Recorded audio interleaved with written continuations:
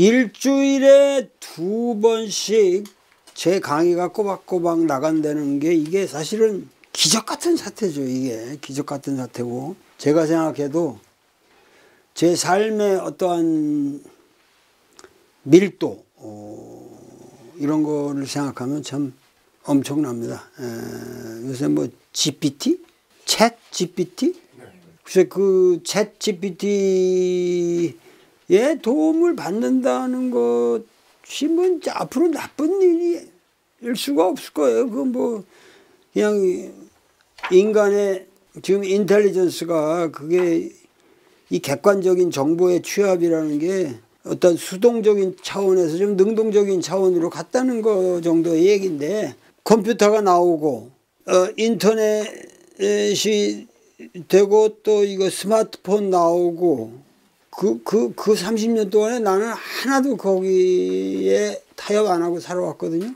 그 그런 거 없이 그저 그냥 재래적으로 사는 인간이라 내가 재래적으로.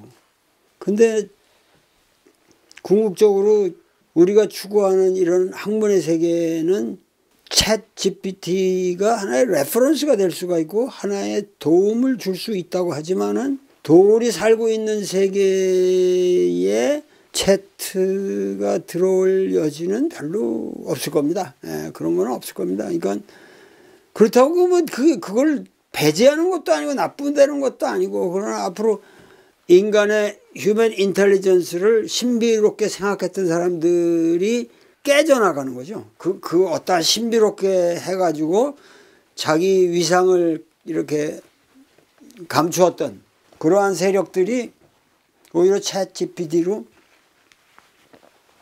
깨져나갈 텐데, 어, 나하고는 별 무관한 것 같아요. 내가 아직 잘 그, 그거를 더 어, 활용해보고 연구를 하겠지만은 요새 너무 그거 가지고 늘 떠드는 것 같아. 그, 그, 그런 거 쓸데없이 그거, 걔가 뭐, 보통 시나리오 작가가 쓰는 것보다 더 잘 쓴다든가 뭐, 여러 가지 얘기인데, 그, 그 뭐, 그렇게 해서 좋은 영화 나오면 좋은 거죠. 뭐, 그, 그, 그게 뭐 그렇게 대단하게, 어, 문제는 아닌데, 교육기관들의 그, 어, 엉성했던 것들, 아니, 아마 개념적으로 많은 변화가 일어날 거예요. 그러니까, 과거식으로 음, 그 교육한다고 하는 것이 과연 무의미하게 되는 그런 상황도 많이 생기니까 그러나 어학 하나만 해도 그 내가 어학을 마스터한다는 문제하고 챗 GPT가 옆에 있다라는 거하고 그건 다른 문제입니다. 기본적으로 는 다른 문제니까 여러분들이 혼동하시면 안 돼요. 뭐니 뭐니 해도 어 도움은 받을 수 있고 더 어, 효율화 시킬 수 있다고 하지만은 어학 하나도 내가 사전 찾아서 공부하는 거지 어, 습득하는 거고 하여튼 어, 많은 고민스러운 문제가 있는 것 같아요 어, 그챗 GPT로 인해서 많은 고민스러운 문제가 있는 것 같은데 우리 주역 공부하고는 별 관계가 없다 이거죠. 제가 말씀드리고자 하는 거는 우리 주역 공부하고 관계없고 여러분들 우리 주역을 지금 이렇게 뭐 최소한 2만 명이 지속적으로 따라오고 계신데 이 현상은 뭐 어느 교회도 지금 2만 명이 한 군데서 꾸준하게 설교를 듣는 교회는 없잖아요. 어, 이거는 이게 우리가 여기서 끝낼 게 아니라 이 주역을 공부하면서 오가는 많은 생각들을 가지고 이런 가치관과 이 생각들이 전파가 돼야 된다는 거죠. 예, 그래서 주변 사람들에게 될 수 있는 대로 이 채널도 권하시고 뭐 교회에서는 뭐 전도하라고 이렇게 얘기하지만은 저는 그 우리는 그런 게 아니고 그냥 많이 들으시고 삶의 지혜를 얻으라고 권유를 많이 하셔가지고 그리고 우리 그 뭐지 어, 구독자 수인가 구독자 수도 요새 좀 늘었어요. 근데 그것도 조금만 좀 더 늘어나도록 주변 사람들에게 많이 권유하시고 주역이 우리 사회에서 새로운 모습으로 새로운 가치관이 되도록 어, 여러분들이 애써주시면 감사하겠습니다. 우리가 지금 공부할 꾀는 림꾀죠. 림꾀. 어. 림꾀는 일상 언어에서 우리가 많이 쓰는 말이죠. 이 림이라는 말은 그러니까 그대로 우리말로 그냥 사실은 임한다. 어, 이거, 이거 참 많이 쓰는 말 아니에요? 림, 림이지만 이, 임한다. 아, 뭐에 이렇게 임한다라는 거는 이제 이렇게 좀 굽어본다. 위에서 아래로 내려온다라는 뜻이 강한데 림한다 그러면은 어, 무엇무엇에 림해서 그럼 우리가 마치 연못 주변으로 이렇게 와서 뭐 만나는 식으로 그런데 이 임괴의 그 가장 큰 특징이 가장 큰 특징이 양이 밑에 있고 음이 그러니까 이게 뭐냐면은 음과 음효와 양효가 이렇게 엇갈려서 섞이지 않고 배열되는 꾀들. 섞이지 않았잖아요 이게 그러니까 이게 만약 이게 이렇게 섞이지 않고 여기가 있, 을 때는 이게 뭐였죠? 복귀였죠. 복, 복귀견 천지심이었단 말이에요. 그러니까 이게 만약에 이게 이렇게 중간에 들어간다 이건 달, 다른 거예요. 그러니까는 이 양효와 음효가 섞이지 않고 차례대로. 그러면 이게 뭐 이게 지금 이렇게 하면 네 개가 되겠지만 그 다음에는 뭐가 되겠어요? 이렇게 될 거 아닙니까? 그러면 이게 이게 이렇게 네 개가 되고 이렇게 섞이지 않고 가면은 뚜루룩 그 이게 양이 늘어나는 걸로 보인단 말이에요. 양이 늘어나는 걸로 보이고 여기 중간에 뭐가 오겠어요? 건괴가 오겠죠. 다 꽉 차면은. 그 건괴에서 다시 건괴에서 다시 양이 치고 올라오는 게 아니라 이제 음이 치고 어, 음이 치고 올라온단 말이야. 이렇게 하면 다, 다섯 개. 그 다음에 이렇게 이렇게 될 거 아니야? 이렇게 이, 이, 이런 괴가 몇 개가 되겠어요? 12개죠. 12개. 이 12개가 쭉 나야 되는데 이 12개를 우리가 뭐라고 하면 12벽괴라고 그런단 말이야. 그 64개 중에 음양이 섞이지 않고 차례대로 이렇게 되는 게 에, 이게 벽괴죠. 이 벽괴의 출발은 대개 복으로 잡는단 말이에요. 복으로 잡는단 말이에요. 복으로 잡는데 이 12개, 12개의 괴를 가지고 이, 아, 이렇게 섞이지 않고 음양이 이렇게 쫙 아코디언처럼 늘어났다가 줄었다, 이, 이런, 이런, 이런 것들의 이런 괴를 갖다가 그 64개의 별이가 된다. 그래서 이 벽이라는 건 이게 군주다 그런 의미거든요. 사실은 벽이라는 게 그러니까 그 주축이 된다. 해서 이 12벽괴라는 거를 굉장히 중시했다고. 근데 많은 경우 이 주역을 공부하는 사람들이 이 벽괴 문제에 오면은 다들 그 뭐 엄청난 거로 사실 아는데 지금 우리가 공부하는 이 대상전 아 여기 여기 대상전 이 대상전을 64개의 대상전이 있는데 이 대상전을 보면은 이 벽괴적인 사유가 하나도 없어요. 그러니까 이 12개의 벽괴를 가지고 64개를 이건 아주 벽괴는 아주 중요한 괴라고 다들 생각을 하는데 사실은 주역이라는 텍스트를 볼 때 우리가 이런 문제를 가지고 세심하게 봐야 한단 말이에요. 예를 들면 주역 경전에 음양이란 말이 있냐? 음양 이런 말이 있냐? 주역 경전 자체에 안 나와요. 어디 나오냐?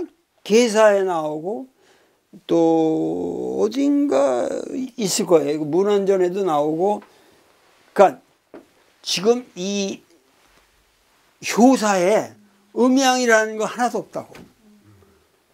그러니까 예를 들면 이런 것들이 우리가 생각하는 거하고는 주역이라는 텍스트가 너무 복잡하다는 거예요. 그리고 이런 것들이 다 이렇게 엇갈, 그러니까 텍스트별로 주역이라는 텍스트, 텍스트별로 그 언어의 특징이 있다는 거예요. 언어의 특징이 있다는 거예요. 그거를 다 분석해야 되는데 나는 박사 논문 쓰면서 이런 걸 다 분석했거든요. 그래가지고 그걸 또 영어로 쓰느라고 나 죽을 똥을 쌌는데 그걸 내가 여기서 강의할 생각은 없다 이거예요. 아, 왜 이, 이거 그냥 텍스트 해석만 해도 정말 이게 골 때리는 문제거든요. 지금 이, 이것만 지금 우리가 공부하려도 이거 자체의 해석도 지금 그러니까 지금 경 자체 근데 이런 거를 의식이 없단 말이에요. 그러니까 주역 그러면 12벽계 의례의 주역 분석에서 12벽계가 전제돼야 되는 것처럼 이거는 대, 이거는 전부 한나라 때 한나라 때 상수하게 생기는 문제예요. 주역과 관계가 없는 거예요, 이게. 주역 자체와는. 그러니까 이런 것들이 나중에 상수하게 발달하면서 재미있게 이걸 배열하고 뭐 그래가지고 열두 몇 개를 찾아내고 그, 그, 래가지고 그러니까 그러니까 이런 것들이 우리가 좀 조심해야 할 이 주역이라는 게 여러분들이 생각하는 것보다는 상당히 복, 복잡한 텍스트예요. 복잡한 텍스트고 그 주역의 모든 그러니까는 효사라든가 괴사라든가 대상전, 소상전, 그다음에 문헌, 그리고 어, 석괴, 뭐 계사, 또 계사조 상, 계사 상전, 계사 하전 이 모든 문헌이 별도로 성립한 거예요. 다른 시대에 별도로 성립한 건데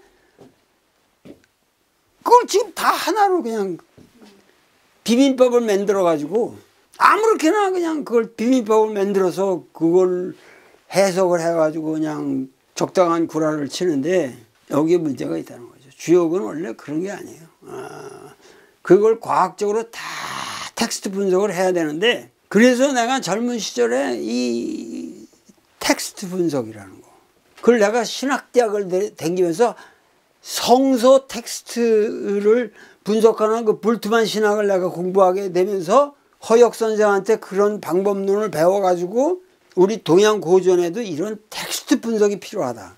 그런 의식을 가지고 쭉 공부를 해왔는데 아, 너무 힘들어요.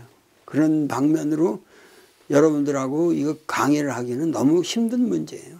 그리고 졸리고 텍스트 분석이라는 게 엄청 졸리는 거예요. 그냥 여자 머리를 찬빗으로 차 이러고 앉아 있는 거랑 비슷한 거니까. 아. 그 참빗질 해주는 거나 비슷한 거예요, 그게. 어. 그러니까 그게 아, 옛날에 석회가 많아가지고 석회 걸르느라고 이 텍스트 분석은 게 그런 식이라니까 쫙 해가지고 그냥 다 비교해서 그냥 석회 잡아내고 이런 식이 되니까 이게 보통 문제가 아니란 말이에요. 그러니까 이 주역이라는 게 어, 한없이 하여튼 복잡한 텍스트다. 하는 거예요. 그러니까 하여튼 임괴는 그 우에서 어, 지금 우에서 우에서 이렇게 음인데 그러니까 림이라는 건 주로 우에서 아래에 림한다, 임한다. 뭐 우리가 저 기도할 때도 하느님한테 뭐, 예, 뭐 예수님이시여 하느님이시여 이 맛이 없어서 그 하늘에서 이 땅으로 이렇게 내려오라는 거 아니야? 림이라는 거는. 근데 사실은 이것의 그, 그 텍스트의 원래 의미는 사실은 뭐야? 복괴로부터 시작해서 뭐야 지금? 야, 양의 세력이 치고 올라가는 거예요. 보통 림의 우리 의미는 위에서 내려다 본다는 건데 이것 자체는 뭐라 그랬냐면은 석괴 전에 곡괴, 곡괴. 지난번에 그, 그, 그 그릇에 이렇게 벌레 세 개 담긴 곡괴를 공부했잖아요. 그러면서 곡괴를 뭐라고 그랬어요? 일사자라고 풀었잖아. 일사자라고. 고는 사다. 왜요? 고는 이렇게, 이게 고가 그릇 안에 벌레들이 벌레들이 있어가지고 다 썩, 썩는 거라 그랬잖아요. 그러니까 이 세상이 썩어야 일이 생긴다는 거지, 지금. 우리 사회가 지금 그래. 일이 많아요, 지금. 우리가. 걱정할 일도 많고, 일이 많은 게 뭐야? 지금 썩어가고 있으니까. 고해, 고. 고해 시대예요. 그러니까 부패가 있어야 부패 청산에 일이 생긴다 이런 얘기야. 그게 고괴인데 이 고라는 것은 일이라고 했고 그 다음에 일이라는 것이 생기게 되면 항상 커지게 마련이다. 그래서 곡괴를 림괴로 받은 것이다. 그래 놓고 그러니까 림괴의 림은 크다는 의미이다. 그랬거든. 어? 크다는 의미라 그랬거든요. 304페이지에 있습니다. 304페이지. 우리 텍스트에. 림괴는 크다는 의미다. 이게 무슨 얘기냐면 결국은 양의 세력이 자라서 점점 자라서 커진다. 그런 의미다. 그런 얘기죠. 이건 어떤 벽괴적인 해석을 한 거예요. 이, 어, 이, 이 해석은. 그러니까는 그건 석괴 전에 이제 해석이니까 그 이게 이, 이런 벽괴, 12벽괴적인 해석이 들어갔다고 보는데 이게 에, 그, 그러나 여기 이제 대상전의 저자부터 그렇게 보고 있지는 않다 이거예요. 그러니까 여기 약간 좀 이거 임계를 공부하기 전에 어 한두 가지만 내가 소개할 게 있어요. 그러니까 그 지난번에도 말씀드렸지만 우린 너무 몰랐다라는 이 책이 증보 개정판이 나왔는데 이게 나오자마자 그 교보에서도 300불을 어 사가고 어 그래서 상당히 반응이 좋아요. 근데 여러분들도 가급적이나 좀 이 정보판 하나 정도는 좀 구입을 해 주셨으면 좋겠다는 게 여러분들 되게 이걸 구판을 가지신 분들이 대부분일 것이지만은 여기 이야기 제주사라고 이걸 쓴 김선일 작가라는 KBS 작가예요. 제주 KBS 방송의 작가인데 대단히 그 제주 역사에 대해서 내가 많이 배웠고 이 실력이 있는 사람인데 이 사람이 항상 하는 얘기가 앞으로 오는 세대 4.3이라는 문제는 앞으로 오는 사람들에게 4.3이라고 하는 이 끔찍한 비극적 이 우리 역사의 단면 핵심을 젊은이들에게 젊은이들에게 가르쳐야 되는데 그 젊은이들에게 가르치려고 하는 교사든 뭐 읽을 수 있는 중고등학생에게는 이 책처럼 제주 사삼을 잘 가르치는 책이 없다. 그래서 이건 사삼 문제만 아니라 이것이 나오면서 이게 여순민중항쟁이라고 하는 것이 새롭게 조명되었고 이걸로 인해서 특별법이 통과가 됐단 말이야. 지금 진행이 되고 있거든요. 여러 가지로. 이건 여러분들이 이 여순민중 항쟁의 특별법을 통과시킨 이 책을 여러분들이 좀 더 관심을 가지고 귀하게 생각하셔가지고 사람들이 구입하고 어, 더 퍼지도록 퍼지도록 해주시면은 큰 도움이 될 것 같습니다. 아, 이거는 제가 이 책에 무슨 사고 안 사고 이런 문제를 떠나서 운동, 여순민중 항쟁을 지금 이 시점에서 우리 사회에 퍼뜨려야 된다. 특별법을 구체화시키고 어떤 성과를 내기 위해서는 이 책이 많이 나가야 된다. 이게 하나의 사회적 캠페인으로서 여러분들에게 말씀드리는 겁니다. 그렇게 하고 제가 그 3월 1일부터 3월 1일부터 3월 1일 한 오후 3시 정도 3월 1일 오후 3시 정도 3시 인사동 사거리 인사동 사거리에 안국동 쪽이라고 한다면은 쭉 들어와서 인사동 사거리에 요, 요, 여기 여기 공평 빌딩 공평 빌딩 뭐 그런 그런 거 있죠. 그러고서 이쪽에 이제 루벤 루벤이라고 있어요 루벤 루벤 갤러리라는 데서 제가 2년 전에 했었죠 이 공평 아 그러니까 루벤 갤러리 개관식 할 때 제가 초대전으로 그걸 했었는데 3월 1일부터 3주 동안 제 딸 김미루 작가와 제가 공동으로 전시를 합니다. 아, 그래서 여러분들 좀 관심을 가져주시면 좋겠고 제 딸은 김미루는 지금 멕시코에 살고 있어요. 그래서 멕시코에 살면서 이 마야 문명에 관심을 가지고 그전에는 벌레, 벌레 먹는 운동을 하더니 지금 벌레는 안 먹고 그 다음에 이제 마야 역사적 근데 이목상 화백하고 제가 최근에 그 현대미술관에서 쭉 같이 걸으면서 그 사람의 작품을 임화백의 작품들을 쭉 같이 봤는데 그 마지막에 하는 얘기가 역시 훌륭하더군요. 그 서울 예고를 다니는 학생이 에, 물으니까 결국 화백으로서 평생을 살아오셨는데 후, 후학들에게 해주실 말씀이 뭐가 있겠습니까? 그러니까는 어, 이목상 화백이 역시 그 화가 그림이라고 하는 거는 자기 인생의 문제고 그 그림을 통해서 뭘 표현하려고 하는지 그러니까 자기 자기가 어떤 인생을 살아왔는지 자기 인생의 목표가 무엇인지 자기가 어떠한 비전을 가지고 이 세계를 바라보고 있는지 결국 그림이라고 하는 게 이 예술 활동이라는 게 그런 게 명료하지 않으면 물론 겉으로 드러내지 않을 때도 있지만은 자기 내면에서 그런 것이 명료하지 않으면 작품이 안 된다. 아, 근데 그런 거를 명료하게 내가 누구이며 내가 이 역사에서 어떤 위치에 있으며 이 세계를 어떻게 바라봐야 되며 내가 무엇을 할 것인가. 그러한 문제를 놓고 고민할 때에 제일 걸리는 거는 역시 도울 선생이다.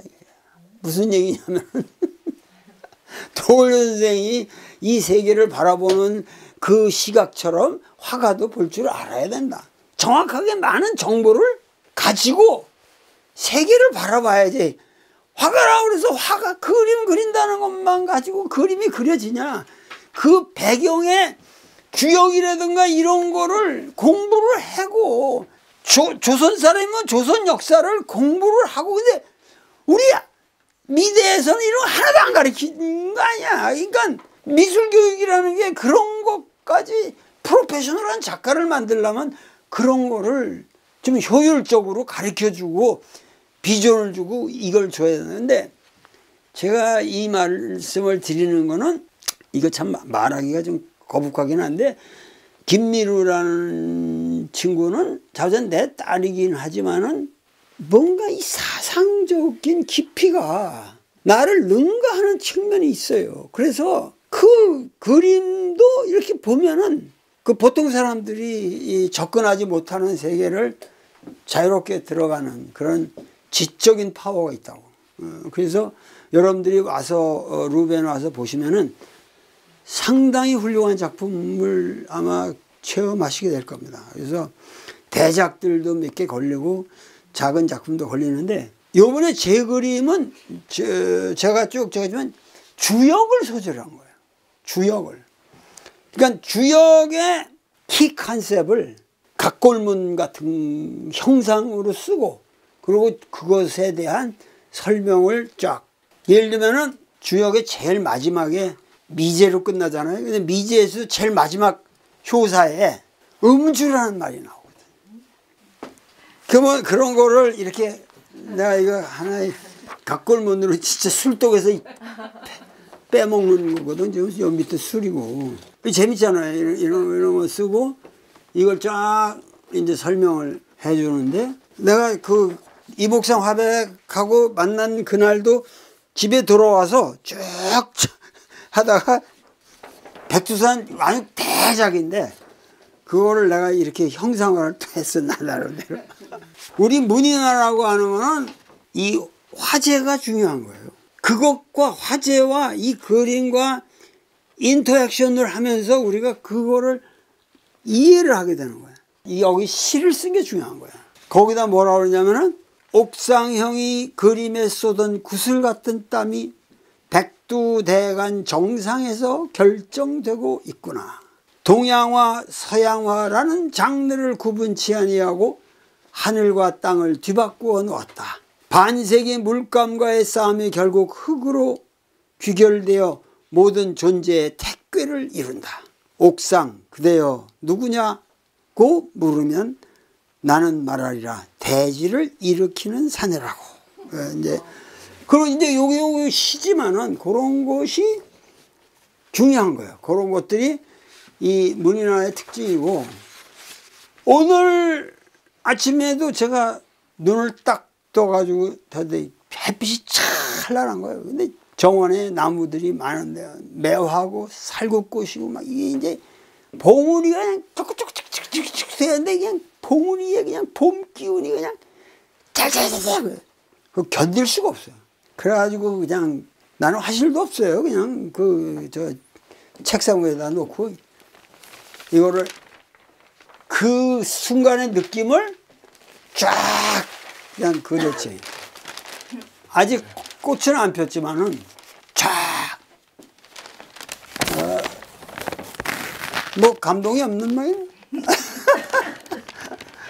문인으로서의 느끼는 세계를 그냥 질 소박하게 들. 그러나 여기에 뭐라냐 홀기, 호련히 침대에서 일어나 문을 열고 보니 봄이 왔구나.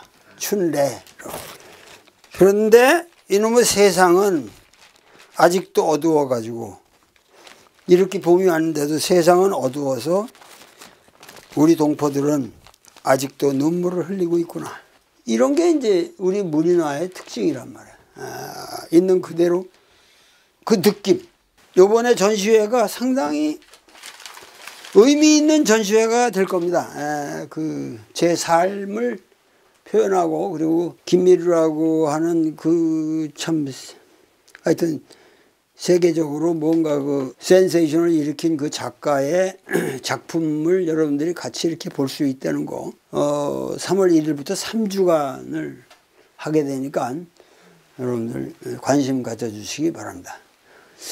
오늘 강의는 여기서 마무리 짓도록 하겠습니다. 감사합니다. 네.